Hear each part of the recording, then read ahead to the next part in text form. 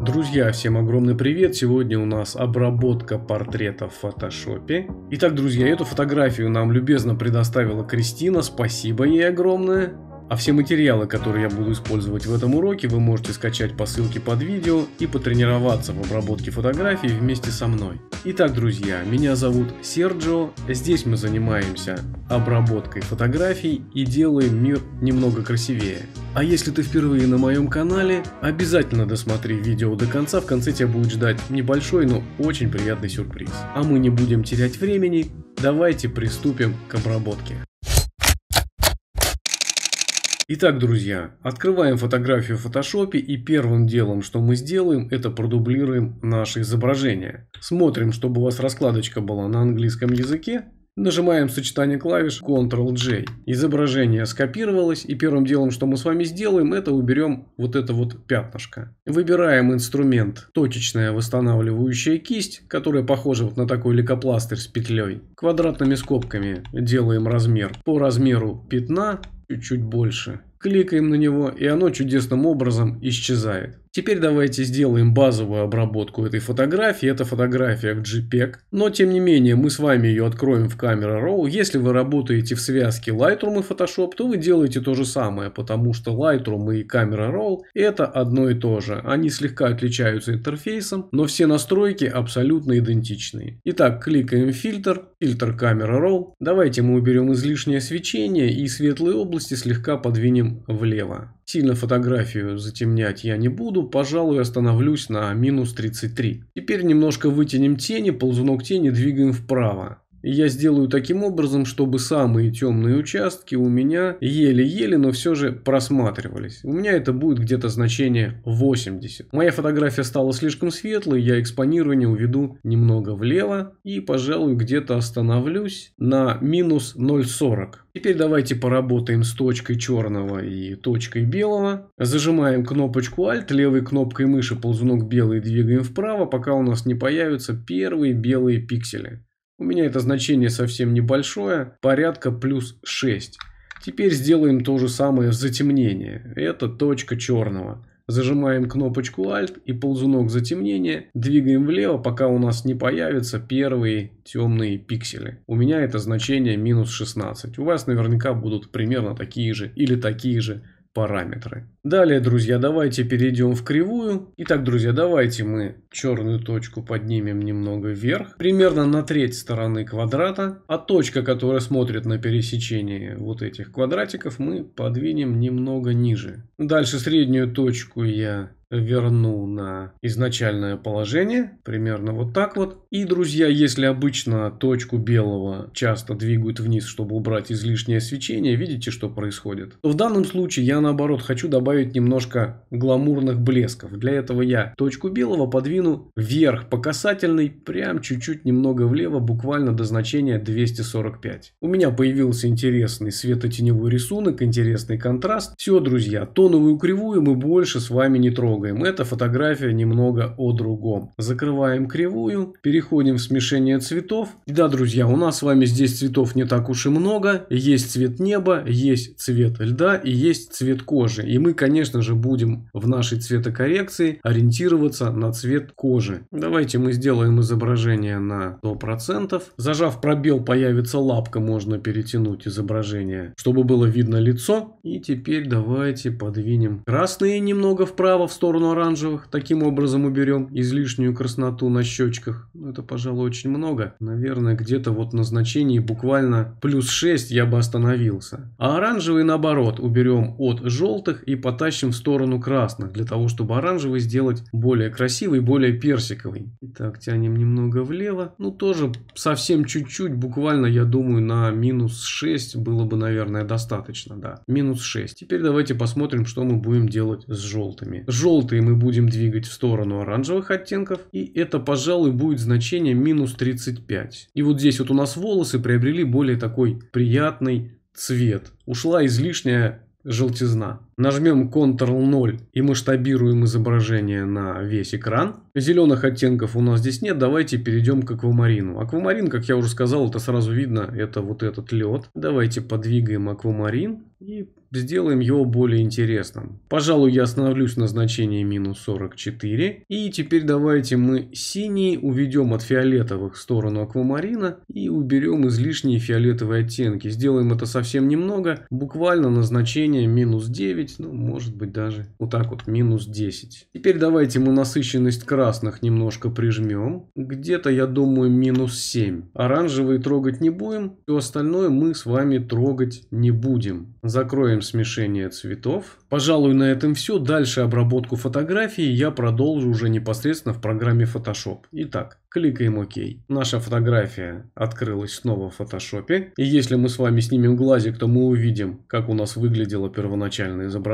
И как вы можете заметить, фотография была какая-то фиолетовая, хоть сразу нам это даже и не показалось. Итак, друзья, я нахожусь в Photoshop 2021, мы с вами будем менять небо. Если у вас Photoshop более старой версии, то вам замены неба придется поработать немножко по другому алгоритму. Для этого у меня есть отдельный урок, подсказочка будет сверху и в описании к этому видео. Ну а я иду в редактирование, замена неба, я уже заранее перебрал различные варианты неба и почему-то остановился на этом. На оригинальном изображении небо было пустое, и мне очень хотелось сделать его красивым, ярким, насыщенным. И если кто-то скажет, что это не совсем реалистично, я не буду спорить. Но учитывая позу модели, взмах шарфом как крылом, мне почему-то хочется немножко добавить в это изображение фэнтези. Чтобы это выглядело как, ну, некая, скажем так, повелительница стихий. Давайте посмотрим, что можно сделать. Итак, корректировка освещения я уведу немножко влево. Вот видите, у нас личико сразу осветляется, но не так сильно. Пожалуй, где-то на значении 10 я остановлюсь. И теперь корректировка цвета. Корректировка цвета у нас тонирует изображение в цвет неба. И вот смотрите, у нас сейчас по умолчанию стоит значение 35.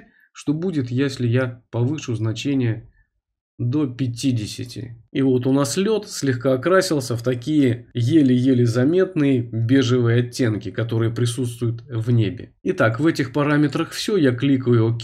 У меня появляется новая папка группа замены неба. Если вы хотите более подробнее узнать, как работать с заменой неба в Photoshop 2021, посмотрите урок, который я специально сделал по этой теме. Подсказочка будет сверху и в описании к видео. А я выделяю вот этот вот слой, нажимаю сочетание клавиш Ctrl Ctrl-T. Дальше нажимаю Ctrl, нажимаю на клавиатуре минус, слегка уменьшу изображение. Вот эта рамочка у меня это выделенное небо, и теперь я немножко с ним поиграюсь. Что я хочу сделать? Как видите, у меня как бы облака падают немного вниз. И происходит такое искажение восприятия, скажем так, горизонта. Я хочу это восприятие слегка поправить. Что для этого я делаю? Ну, во-первых, я немного увеличу размер неба. Дальше я немного выровняю его вот таким вот образом, повернув против часовой стрелки. И теперь слегка уберу вниз, чтобы скрыть лишний горизонт. Давайте подвинем так. Посмотрим, как будет выглядеть лучше. Нужно подобрать интересную композицию. Вот таким вот образом у нас просвечивается линия горизонта. У нас создается полноценное восприятие, что источник света находится справа. И это нам и нужно. Итак, кликаем галочку.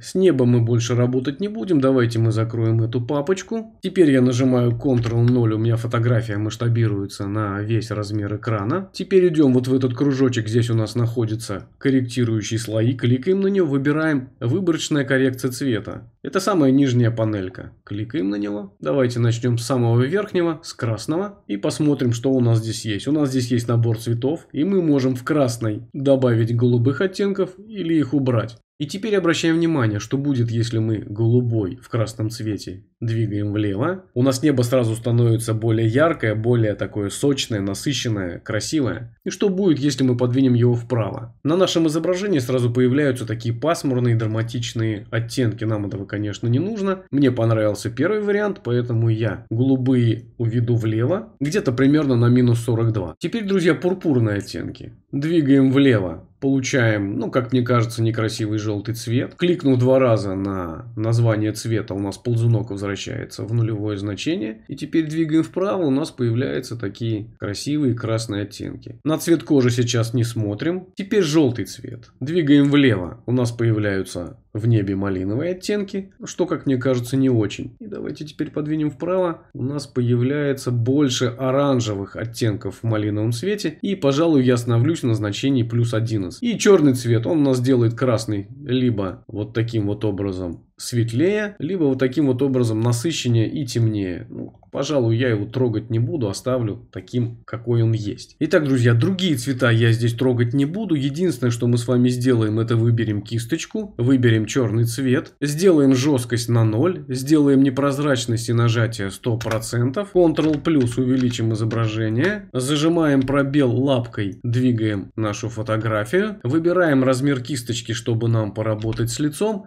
и мы уберем тот цвет, который мы добавляли в небо и который у нас также лег на лицо.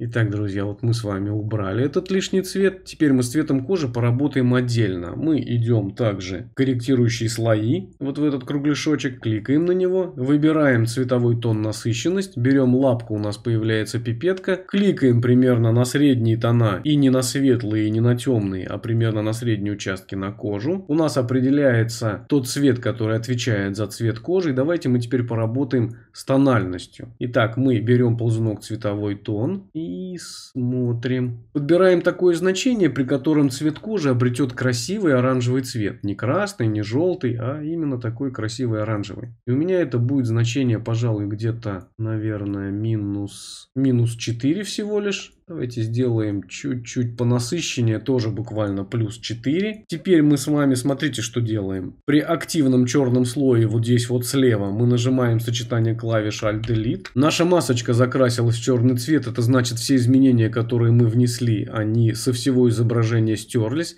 И для того, чтобы нам вернуть тот цвет кожи, который мы только что подобрали, нам необходимо взять опять мягкую кисточку Жесткость 0, те же значения непрозрачности нажатия 100%. Теперь выбираем цвет белый и делаем цвет лица такой, который мы настроили. Отлично. Нажимаем сочетание клавиш, Ctrl 0. Фотография возвращается в исходное положение на весь экран. Дальше мы с вами свернем Photoshop, я уменьшу окошечко. Берем изображение 0.17, которое у вас находится в материалах, перетаскиваем его на наше изображение, отпускаем Возвращаем Photoshop на весь экран. Развернем против часовой стрелки и сделаем ровненько. Можем поставить вот здесь вот минус 90 градусов. Теперь нажимаем правой кнопкой мыши. Делаем отразить по горизонтали. У нас светлая область переместилась вправо. Перемещаем в верхний левый угол, пока у нас изображение не прилипнет к углу фотографии. И теперь растягиваем его на весь экран. Кликаем галочку Теперь переходим в параметры наложения. Сейчас у вас стоит обычный. Кликаем вот сюда на галочку, выбираем мягкий свет. Теперь давайте посмотрим, что у нас получилось. Снимаем глазик. Вот так, без этого слоя. Вот так вот с этим слоем. Вот такая красивая, замечательная тонировка. Теперь единственное, что непрозрачность мы с вами немножко убавим. Буквально, пожалуй, где-то, наверное, на на 75%. Отлично, у нас появилась красивая тонировка, у нас появилась легкая метель, летит снежок, но это еще не все, продолжаем работать дальше. Теперь мы добавим текстуры в наше изображение, нажимаем сочетание клавиш Alt-Ctrl-Shift-E, у нас все наши изменения дублируются на новый слой. Теперь мы будем работать в плагине Nick Collection. Если у вас он не установлен, обязательно включайте видео по подсказке сверху и в описании к этому видео. Этот плагинчик там будет лежать. Скачивайте его, устанавливайте и возвращайтесь назад к обработке. Итак, идем. Фильтр, Nick Collection и выбираем Silver FX Pro. Этот плагин отвечает за черно-белый цвет, но я сейчас покажу, как работать с этим плагином для того, чтобы получать красивый контраст, красивую проработанную текстуру изображения. И здесь вам необходимо выбрать фильтр под номером 006. Здесь с вами мы больше ничего делать не будем. Кликаем кнопочку ОК. Наша фотография стала черно-белой, но ничего страшного. Теперь мы с вами также переходим в параметры наложения и обычный меняем на мягкий свет. Давайте посмотрим, какое изображение было, какое стало. И теперь давайте непрозрачность полностью уберем в ноль. И будем двигать вправо до тех пор, пока изображение нас не устроит. Я остановлюсь на значении 50. Отлично. Итак, друзья, теперь давайте мы поработаем с нижней частью изображения. Сейчас у нас лед такой теплый, мы сделаем его слегка попрохладнее. Что мы для этого делаем? Давайте мы добавим пустой слой, кликнув вот сюда на значок, который находится слева от корзинки.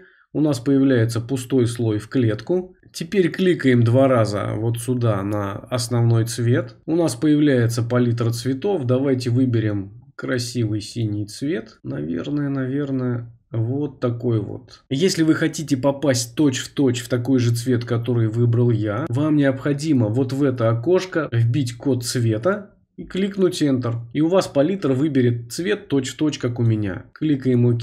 Итак, у нас с вами кисточка мягкая, непрозрачность нажатия 100%. Квадратными скобками увеличиваем изображение и слегка, не выходя за края, наносим вот сюда в нижний угол.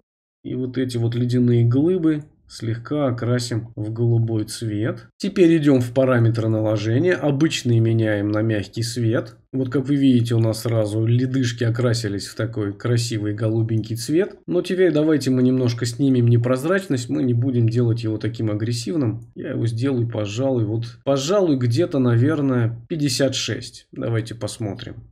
Вот так он достаточно серый и зеленоватый. Вот так уже в нем больше голубого цвета, и так это смотрится гораздо интереснее в этой цветовой схеме. Далее добавляем еще один пустой слой.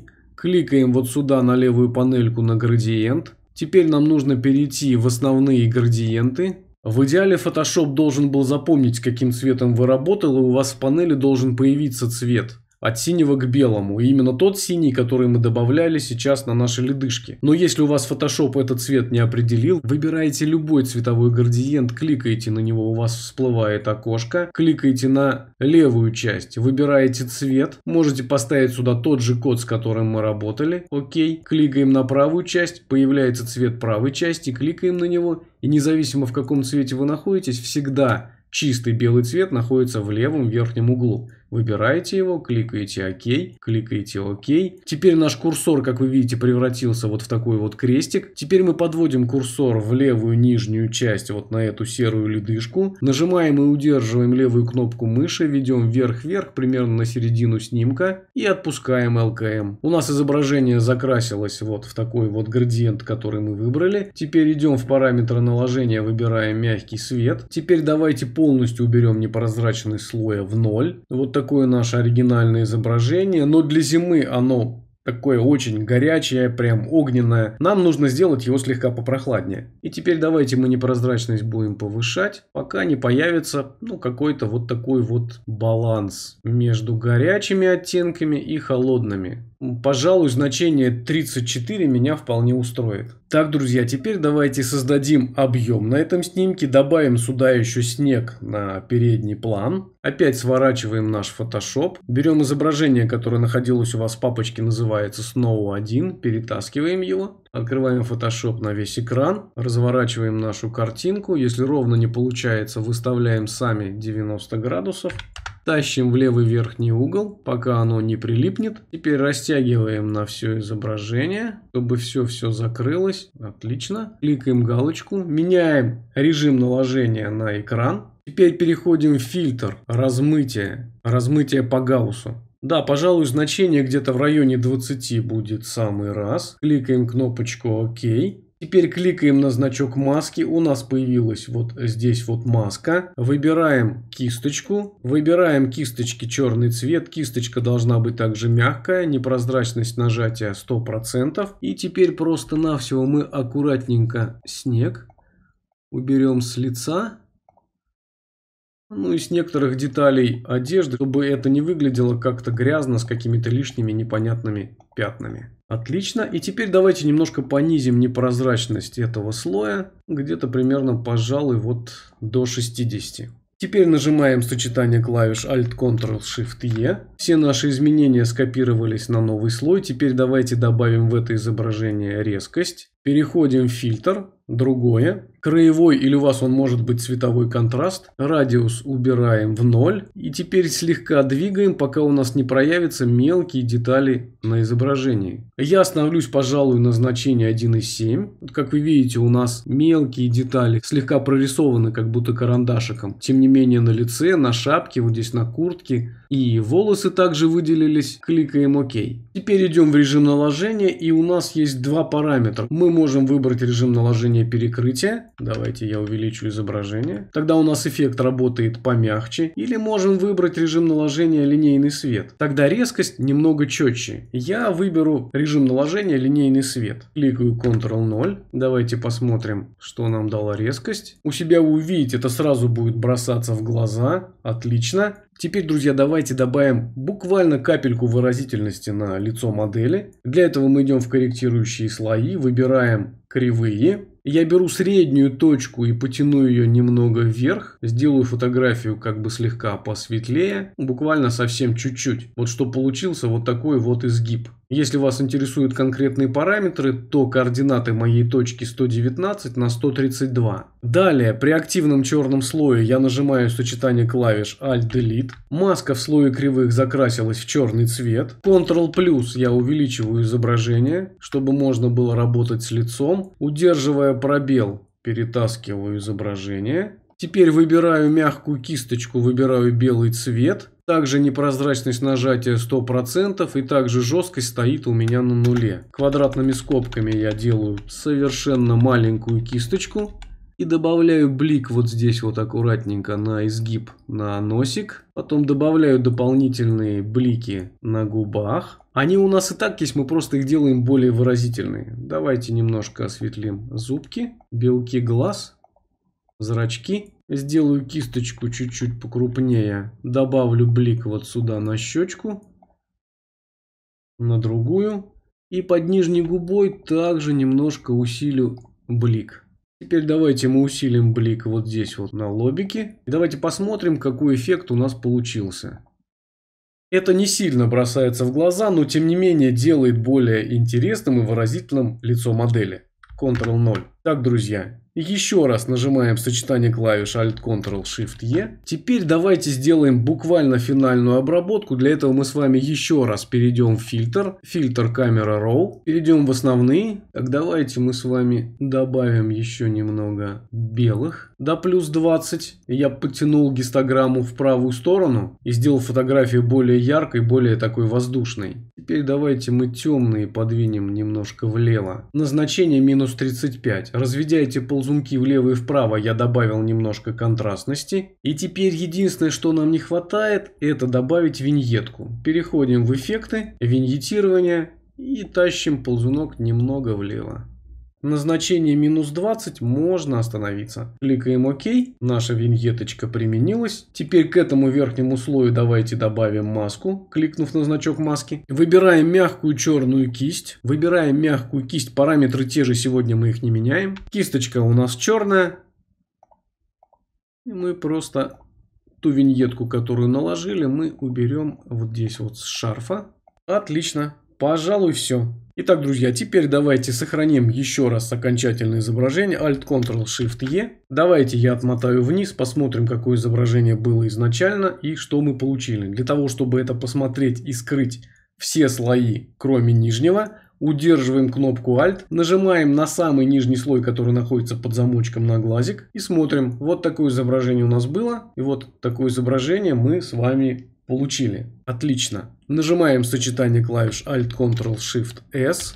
Выбираем JPEG. Качество наилучшее. Здесь качество 100%. Встроенный профиль. Обязательно выбираем преобразовать в sRGB. Качество бикубическое. Размер выбираем по требованию соцсетей, которые предъявляют к вашим изображениям. Я, например, ширину сделаю 1080, нажимаю сохранить, выбираю путь, если нужно меняю название и кликаю сохранить. На этом, друзья, все. Если видео вам понравилось, не забудьте поставить лайк и обязательно подписаться, чтобы не пропустить полезные уроки по обработке фотографий. И, друзья, как вы относитесь к идее, если вы будете скидывать мне фотографии, а наиболее понравившиеся мне я обработаю и сделаю по ним урок? Мне кажется, идея неплохая. Почта в описании под видео, скидывайте И не забывайте заглядывать в чат телеграм-канала, там всегда теплая дружеская атмосфера, много обсуждений по фотографии, и мне там вы можете задать абсолютно любой вопрос. Если ты впервые на моем канале, не забудь перейти в мой инстаграм по ссылке под видео, и после подписки тебя ждет набор моих авторских пресетов Universal. На сегодня это все, друзья мои, интересных вам сюжетов, красивых фотографий и творческих высот. Всем пока и до новых встреч!